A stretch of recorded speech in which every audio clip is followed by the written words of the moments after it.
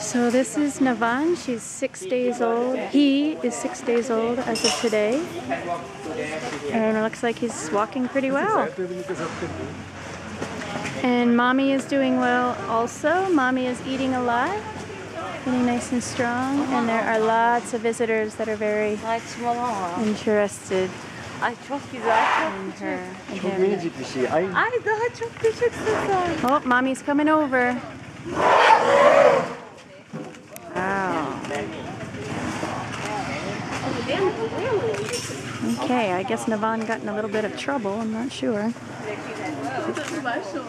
You can see mommy had a landmine injury on her front foot there about six years ago. All right, we'll check in, check in later. Bye.